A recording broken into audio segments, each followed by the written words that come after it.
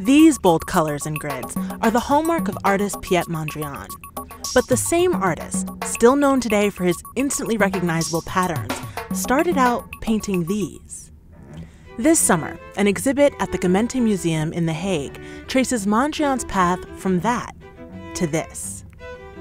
Benno Tempel, the museum's director, explains.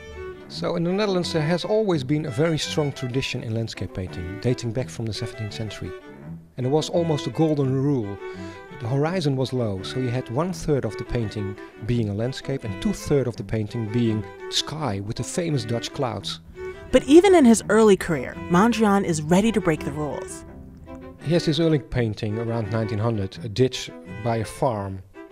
A landscape with the horizon very high, so there's almost no sky.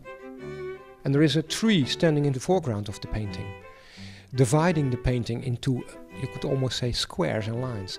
In 1911, Mondrian moves to Paris, where the Cubist painters Georges Braque and Pablo Picasso influenced Mondrian to experiment with increasingly abstract styles. In 1915, Mondrian returns to the Netherlands and joins the Laren Artist Colony, where he befriends two artists who push him even further toward abstraction. Together, these three participate in the founding of the De Stijl movement. Like many artistic movements at the time, this group tried to make a definite break from the past. No more Dutch clouds and windmills for these guys.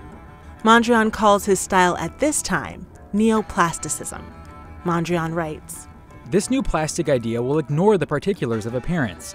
On the contrary, it should find its expression in the abstraction of form and color, that is to say, in the straight line in the clearly defined primary color. It all boils down to straight lines and primary colors, the signature Mondrian look you see in stores and on runways today. But despite how far Mondrian's style evolved from Dutch landscapes, it's still possible to see a connection to his early works. Although they're completely different, one is figurative, the other is abstract. You see that it's almost the same division of picture planes. And that's not done on purpose, it's done by intuition.